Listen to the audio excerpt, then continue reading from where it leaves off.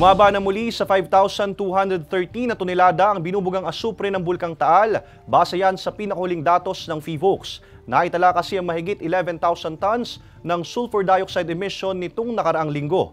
Sa report ng FIVOX, walang naitalang pagyanig sa palibot ng Bulkang Taal. Wala ring namataang vago haze sa palibot ng bulkan. Nananatili sa alert level 1 ang Taal Volcano pero pinapayo ng publiko na manatiling alerto sa aktibidad ng bulkan. Maring ipinagbabawal ng otoridad ang pananatili sa lawa ng Taal na deklaradong permanent danger zone.